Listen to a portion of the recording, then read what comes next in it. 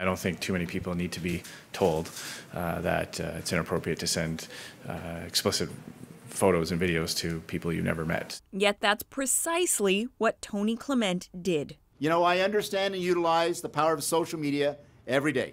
Once thought of as a politician with a keen grasp of online communication, he revealed today that for months someone has been trying to expose his indiscretions. In a letter, Clement says one inappropriate exchange led to a woman being offered money by an anonymous social media account in exchange for the disclosure of intimate and personal information. I immediately reported this personal matter to the OPP last summer. That's in addition to the extortion attempt Clement went public about this week. I was not aware of that until until today.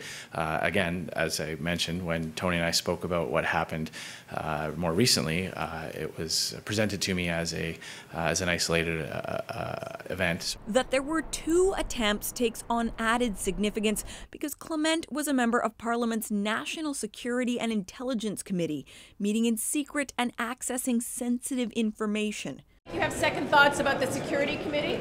It leads to uncomfortable questions about whether that had anything to do with Clement being targeted and whether officials knew what was going on. There are rules for committee members. They state a member must, without delay, provide the clerk of the Privy Council with a report of any change in their personal circumstances that may affect their security clearance. A government source says officials were only notified of Clement's situation last week. And Catherine joins us now. Some people wondering about the timing of these disclosures by Tony Clement. That's right, Ian. The Toronto Star was actually about to report some of the details of these incidents, and it seems that they reached out to Tony Clement for comment first. Instead, he decided to give his own version of events via this letter uh, explaining his take on things and also expressing a lot of remorse for all of this. And in your item, you touched on uh, the, the security concerns here. Tell us more about that.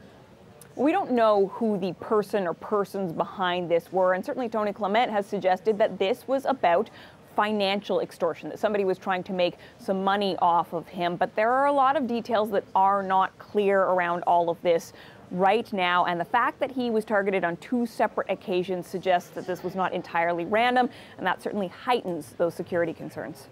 Thanks, Catherine. You're welcome.